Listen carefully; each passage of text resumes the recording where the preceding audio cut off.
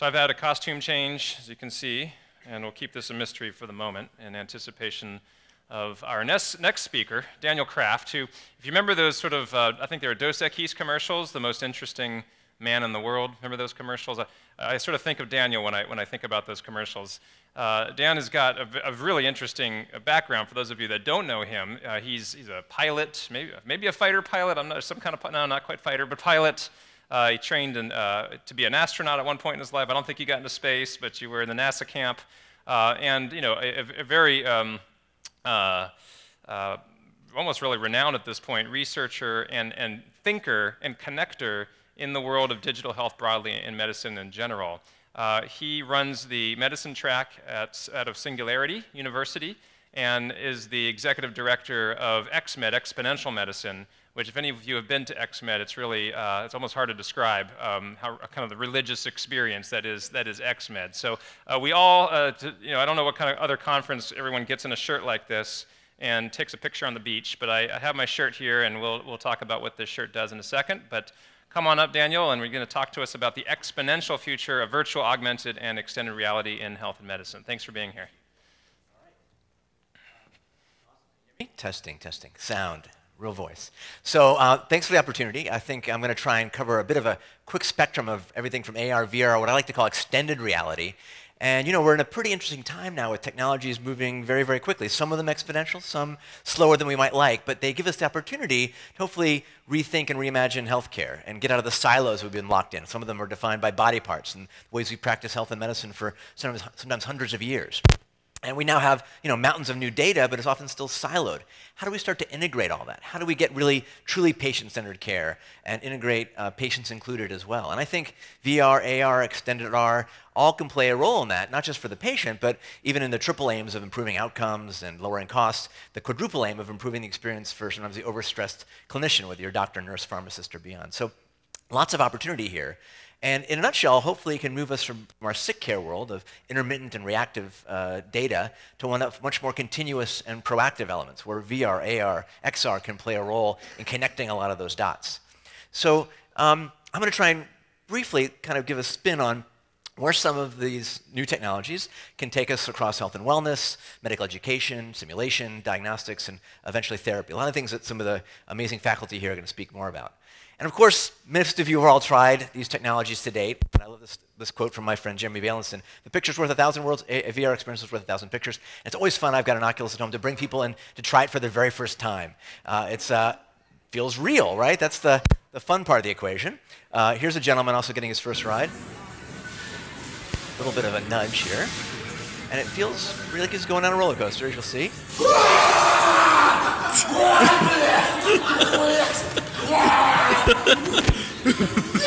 so pretty powerful, right? And this technology has come a long way. You know, the idea of augmenting our, our, reality isn't so new, but it's moving pretty quickly. And it was only, what, six years ago that, that, uh, that Palmer Luckey was in there on, on, on Kickstarter. Um, so things have moved pretty quickly. And we now have a whole explosion of these consumerized devices from the, from the Google Cardboard to the HTC Vive to whole elements you can build on your Apple Kit to Magic Leap, which hopefully we'll all get to play with soon. And so this gives us a new opportunity to go from sort of mostly reality all the way to mixed to fully virtual. Um, and, and as we're discussing here these two days, to bring us into the world of health and medicine. And some of it, uh, I think, actually is going to be, be, quite magical and can bring AR, VR, mixed R into all sorts of interesting environments. So the technology is somewhat magical, um, but it's riding what we like to all say is sort of you know Moore's law, exponentials. We're all familiar with the power of computing getting faster and cheaper. Moore's law. Even in my now, this is a 10-year-old iPhone 2. It felt amazing 10 years ago. Now it's slow and clunky. We've seen the shrinking in price of, of, our, of our memory. We've seen um, you know, whole, whole technologies dissolve into our smartphones. Uh, our sensors can now uh, get exponentially smaller and cheaper to the point where they're digital tattoo. And so I want you as a takeaway to start becoming exponential thinkers and uh, start to imagine where, with a couple more clicks of Moore's law, where we might be. But our brains are kind of wired linearly. 30 steps, I'll be at the door, but 30 exponential steps, I'll be at a billion steps. That's 26 times around the planet. That's the power of these exponentials. And don't have a failure of imagination, a failure of imagination of where this can take AR, VR in the next uh, few years. So of course, a lot of this is coming to our supercomputers in our pocket. Those keep evolving, sometimes getting bigger and better. Um, we're in the era of the medicalized smartphone, which now has AR and VR capability. Um, and that gives us some potential power. But again, we're still in the early edge of this, of this curve. A couple more clicks, and we may be past that synthetic, believable versus real world in, in, in Ready Player One uh, realms and taking these technologies not just in our wrists, but into our contact lenses. You know, Verily is building contact lenses to contract blood sugar. Others may bring this to our contact lenses. Here's a fun look at where this might be. Excellent. Perfect. Good job. Excellent. Well done.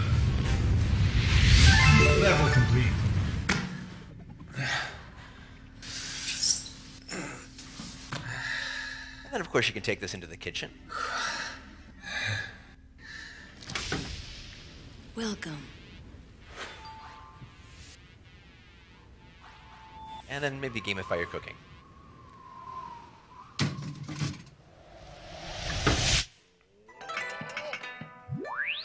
So this is the idea of you know the augmented reality or VR contact lens, which is getting closer and closer, and you can gamify all sorts of elements of life. So when you're thinking about the future of health and medicine, whether it's with VR or beyond, don't think about this as the VR, AR pieces, but all these things super converging, from 3D printing to modeling to big data, and how we put that together, and how these new technologies can play a role in helping us address grand challenges in healthcare, from rising costs to the aging population, which is often socially isolated, to access to telemedicine, to medical education, to how we can uh, um, take all this too much data and make it useful and unfragmented, how we can engage our patients in their own care, whether they're in the four walls of the hospital or beyond. Um, so a tremendous opportunity to reimagine. We've seen reimagination from companies that have not built the technology. Uber didn't invent the smartphone GPS online maps. They put it together. It's been disruptive to our friends in the taxi world.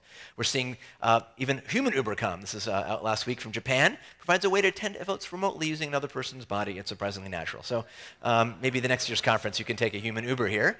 Um, we're seeing virtual pharmacies that can deliver on demand. Obviously, big players coming into the space from Amazon. Maybe you'll get your drugs with the press of a button and a drone. So new ways of thinking using technologies, including how we interface with our insurance companies. Um, and so the bottom line is, you know, you want to be thinking exponentially. You don't want to be the next Kodak or Blockbuster. You want to Uber yourself before you get uh, Kodak. So I get to have an interesting purview of this. I've been the chair of medicine at Singularity University since it started. We bring really smart folks together to understand exponential technologies and how they can apply to everything from poverty, education, to healthcare. And because as we've already mentioned today, healthcare is a multidisciplinary team sport, but most meetings are very siloed. I'm an oncologist. I go to ASH and ASCO. The cardiologists go to TCT and AC. You know, how do we bring folks together in a new way? So seven years ago, I started a program called Exponential Medicine, which unsilos all the fields and the technologies. We had folks there back in 2013. Babak Parviz, I have now my antique Google Glass. This was new at the time, and several of our students who were surgeons were the first to bring this into the operating room. So seeing things for the first time, touching it, we've now grown. This is our beach picture that Brennan mentioned. Um, and some pretty interesting things happen when you, again, cross fields, technologies, letting people fly in VR. We've had some illustrious faculty there the last few years that you'll hear, see here as well. Um, and it helps get people out of their old mindsets. This is the head of innovation from NHS, who has the old uh, quote from John Maynard Keynes, the difficulty lies not in the new ideas, but escaping from the old ones. So hopefully some of you can join us we have a saying at Singularity, AI, AI is easy, VR, A, VR uh, AV is hard. So we'll see if uh, we get this to work. Um, come join us, at exponentialmedicine.com uh, this November. All right, so what are some examples of how AR, VR, XR can play a role in health and well-being? Well, we know it's our behaviors that drive most of our long-term costs. We're just entering an era where our quantified self devices are moving to quantified health and starting to connect into our EMRs and our healthcare systems. You can do all sorts of things Please now. step like on, and ShapeScale scans your body in less than a minute. So beyond just measuring your weight, it captures hundreds of pictures to create a stunning virtual model that looks just like you. So you can see yourself as other people do. Using the ShapeScale app, you can now view highly precise body measurements. And you'll look like that if you use the app. But, you know, a new form of virtual you. And then when you have that data, maybe you need virtual coaching to change those behaviors. There's simple apps like Lark, which can track your sleep and your activity and give you coaching in an automated way. And then you have real coaches that can connect to your devices, Hello. some that are becoming avatar based. And those avatars are going to be more and more personal. They're going to be folks you react to. It might be your mother, it might be uh, your doctor. Um, and as those sort of AR avatars integrate, those can really start to leverage and personalize that behavior change because the user interface is going to really change. You're going to need different kinds of avatars. And of course, those avatars and coaches can come through voice. You know, Alexa, how many calories did I just have? How much insulin did I take? Uh, Google Home, help, I've fallen, I can't get up. Call 911. All these sort of new forms of virtuality are around us. They may be our coaches in the mirror in the morning, where you see you of today. Uh, they may be an element where you see you of tomorrow, right? You're you in the you of tomorrow, where you're working out, you're doing your P90X uh, or you're having Dunkin' Donuts for breakfast, you have tomorrow. So this ability to see ourselves in this augmented way now, a thousand Dunkin' Donuts later, yeah, that changes perception. Or if you uh, have a patient who smokes and you can show what they're going to look like before and after smoking, that's a kind of blended augmented reality. Or if you spend too much time on Facebook, um, challenges there. So of course, augmented reality, uh, this is the focus uh, in, in, VR in these days, has a lot of interesting roles that we can take into healthcare. And one fun demo is, of course, education. Come on up. This is a fun one now to engage patients to understand, let's say, their own anatomy. Let's see if I can check out uh, Dr. Dr. Spiegel here. Live demos are always dangerous. oh boy. Um, there we go. Oh, we got a nice look at his insides. We can uh, take a look at his heart and inside his four. Oh, GI system looks nice and clean. That's good. I'm a GI All right, doctor. That's good. Look at his four chamber. That's just a nice, fun blended reality element. Thanks. Thank that we can do now and, and teach our kids. Uh, get them while they're young to understand the impact of smoking or or diet.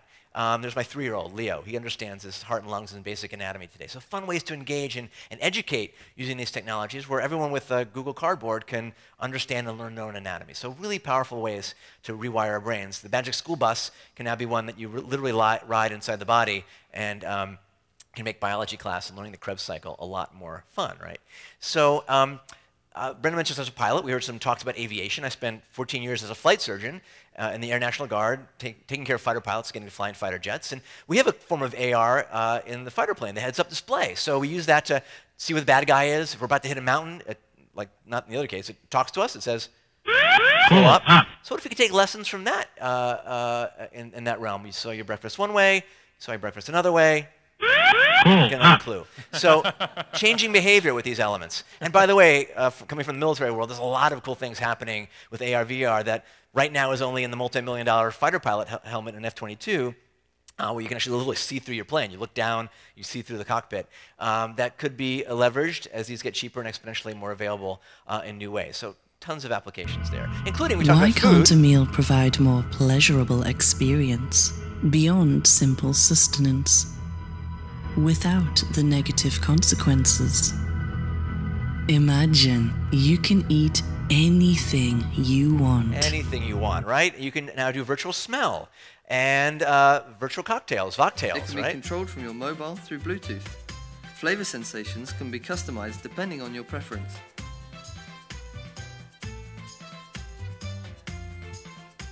So think of all the, the visual technology. simulation gives users a certain expectation of flavors.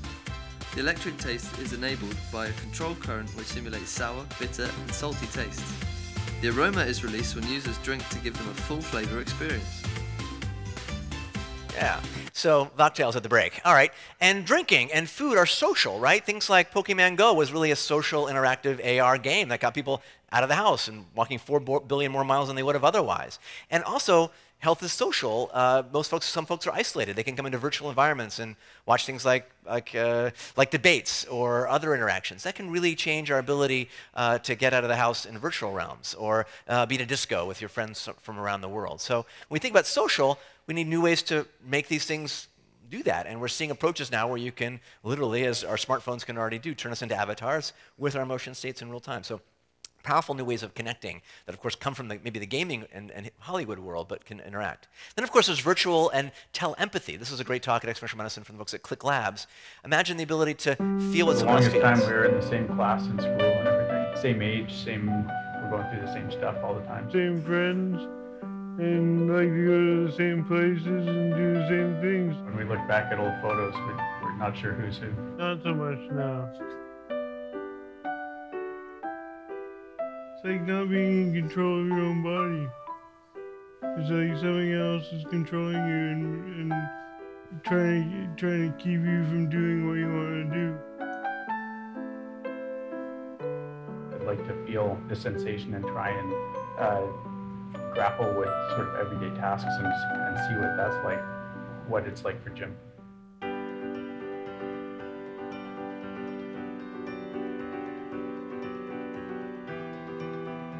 Oh. There we go. Didn't scream.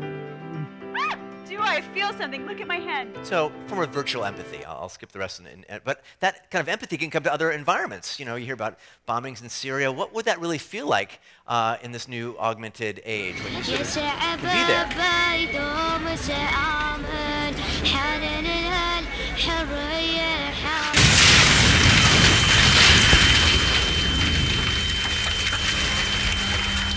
So a very different way to appreciate the news and uh, understanding empathy and compassion around the world. What about, of course, medical education? Tons of examples now uh, already on the market for learning anatomy, uh, for ways that we can not even have to wear anything, but virtually project the anatomy of a patient before we uh, do an intervention.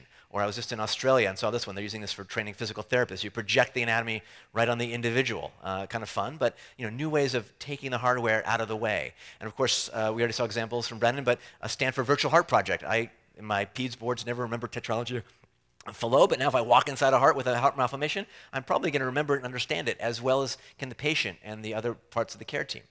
What about democratizing access to surgical and other interventions? There's a shortage of surgeons and education across the world. Many of you know Dr. Shafi Ahmed, the virtual surgeon, who's pioneered some of this work bringing VR into the operating room. So you don't have to watch it just on YouTube, you can now literally uh, live stream it. I happened to be in the operating room for this first case about two years ago where they had about 5,000 people watching in real time this VR live stream operation. So democratizing medical education. He's even using simple Snapchat so goggles. This is the, the vas deferens running down. So new ways to capture information, share it. And as he's demonstrated the last few months, um, the idea of social so VR. We've now going to enter the virtual space with my colleagues from around the world to discuss a case. So uh, virtual surgeons behind me in coming together get some in the real same time. room from around the world. Actually, we had to try. We demoed this at Exponential Medicine without any training, and it was pretty amazing Great. to I have pull down a patient file. Is that okay? three virtual folks on the stage, Sure, go for it. able to look at real data. Oh, I see some beautiful art. You can see what Maybe I see want in the patient. Um, very pretty intu- intuitive. We did this with no the practice. history, and you and can see can the, pull in the uh, see the anatomy model. and interact. So new ways of telementoring. And of course, simulation. There's the old school version, and now we're moving to the new school version. Of course, you can simulate anything today. I mean, anything. Um, but it may be more uh, pleasant to do that in, in virtual ways uh, before you practice on the patient. Um, and as we're going to hear from Justin and Oso VR, when you have a patient with a particular, let's say, fracture you've never done before, if you're an orthopedic surgeon, you're going to go inside that world and practice with the exact set of instruments, with the exact set of anatomy that you're going to experience the next hour, the next day in the operating room. So instead of see one, do one, teach one, as I was learning, it's going to be see, see one, sim one, sim one until you, you get it right. So you're going to hear more about that from Justin tomorrow. And then mentoring, bringing other surgeons and folks into the operating room, like Nadine uh, Haram has done with Proximie. Um, and new ways to blend this into not just fixing a computer, but bringing real-time information uh, when you're going to be um, doing an operation or other, any clinical intervention. So blending all these technologies together, together is going to be particularly powerful. Um, lessons that we can use from firefighters. They may have this information directly on their glove. They're going into a, a, a, a building on fire. They can look at their team status uh, or how someone's doing, what they're seeing. So these examples, which come from different worlds, again, could be applied in the clinical environments in lots of surprising and interesting ways. Um, what about diagnostics? All right, we want to pick up disease early rather than late. Some of you know the medical tricorder. I helped design a medical X Prize. One of the finalists uh, was uh, developing sort of virtualized tests, so you could dip your urine uh, and get the virtual test done uh, with your smartphone.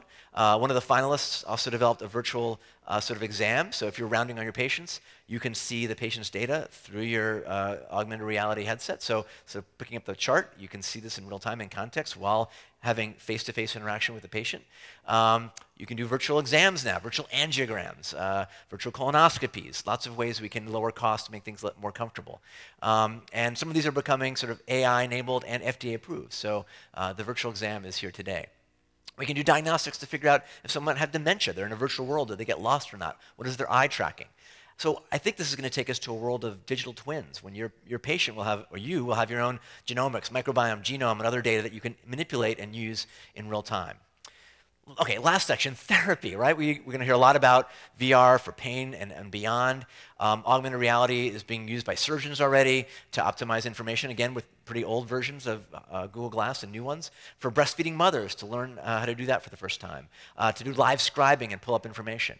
Or, as Arsha and others with brain power have done, to take kids with autism to uh, improve their emotional intelligence. And, let's see if that video works. Uh, basically, put on um, uh, Google Glass and now can learn to gamify the emotions of their mother. So very creative ways uh, to hopefully rewiring the brains of our of our kids. Um, uh, of course, these can really save lives in interesting ways when you can look at complex anatomy and bring that in real time into the operating room. We'll hear from more about from Dr. Grossman, I believe, tomorrow.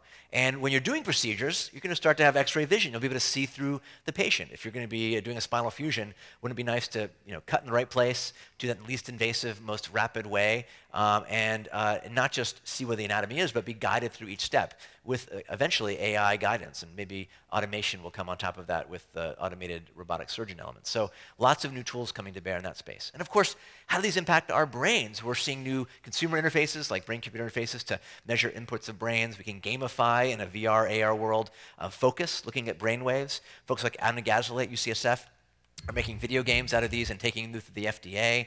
Uh, so we'll see the advent of prescribing these things from everything from treating uh, diplopia to cognitive deficits. And as touched on already, uh, mental health. Lots of ways we can use these now. This is out of Center of USC uh, down the street, um, where you'll have your virtual avatar I, looking at your emotional states, your voice, your eye gaze, Uh, and providing you care, kids keep me not to necessarily replace a psychologist or psychiatrist and beyond. So lots of ways these world, worlds are converging, all the way to adherence. This is Hope Labs. We pilot this. I'm a pediatric oncologist with our kids, adolescents who don't take their meds. They get into a game, they shoot the tumor, uh, they, they pay more attention. Or if those of you who have stage fright might want to play on the virtual, uh, virtual stage and uh, uh, not have to practice in front of real people. Um, um, physical therapy, lots of examples. I'm out of time. But on the advanced side, what about someone who's paralyzed, right? They're literally quadriplegic, uh, paralyzed from the neck down. They can now, has been shown now with VR and combining that with seeing their legs move, combining that with robotics. I've gotten folks who have very significant spinal lesions to get some movement back. So really interesting convergence of robotics, VR, AR, and, and gaming. And finally, how does this change the clinical endeavor? How do we visit our clinician, right? It's not just on smartphones. We'll have new augmented ways to feel like we're connected to our clinicians. Um, some of you know uh, Leslie Saxon from USC Center for Body Computing. She's been turned into an avatar, so when she talks to her patients uh, through the app, um, she can do that in virtual ways. I was at the same center. I got turned into an avatar. And this was Hollywood technology. Now you can basically do that as I did on the plane right here on an app took a picture, and 30 seconds later, I could do some pretty scary virtual things, as you'll see here. This is called, um, what's called? Uh, Mug Cam, and I can now do all sorts of funny things in, in seconds. So exponentially cheaper technology. Soon you won't be able to tell what a real video is and not. Um, so uh, again, hopefully this opens up your imagination to what's possible. Lots is going on here. The folks from Dot Health are here. I'm about to launch a website called Digital.health. We want to have a digital pharmacopoeia and a VR AR pharmacopoeia. So if someone wants to help on that, let me know. And finally, think exponentially, think convergently. It's no one technology, it's how they can blend together. Um, they can make us superhumans as our patients as well. It can uh, mean you need to be paying attention to where the puck is going to be, not in 2018, but 2020, and skate to where the puck will be. And if we do that, we can all become a bit of a, a VR, AR. The future is a little hard, but hopefully we know the future is more personalized, it's less reactive, it's more continuous, it's more integrated, it's more patient empowered. And we can really shift that forward together if we take these not linear steps, but exponential steps. And I think everyone in this room is involved in this process of not predicting the future, but boldly creating it together. So with that, go build the future. Thanks a lot. Wow. Hold on one second. Wow, that was unbelievable, and I don't even know, I don't even know where to start. But I just want to ask. So you said skate to the puck, and you threw a lot of pucks at us today. You know, so just so pragmatically, if you, what do you think? Looking five years from now, what you know, is there a particular technology or particular use case that you think is is most important to skate to out of everything you've presented to us, or is it too hard to even predict that? I mean, what, what do you, what's sort of pragmatic advice for these guys? I think we're going to see, instead of, instead of having to sort of uh, wear, wear devices and such, or project, We're challenging you with these mics. Yeah. Um, it'll be, these will start to dissolve into our environments, right? The, the Internet of Medical Things, uh, the connected home, the fact that our digital exhaust will be collected and hopefully then presented to you in a way that matches Brennan versus Daniel. I might want points, you want badges. We're going to get nudged in different ways. And so I think part of the potential there is to help these dissolve and not feel kludgy and have to keep charging them and, Right, and right. feel uh, as separate objects. So I think with a few more clicks of Moore's Law, we'll see that in our contact lenses and in our smart um, AR and augmented homes. With design thinking and, and smart elements, it's not a panacea. There's a dark side to this too. Right. Well, thank you. Another round of applause. And I don't know, you've got like a clown car in that suit. You've got like 10 devices.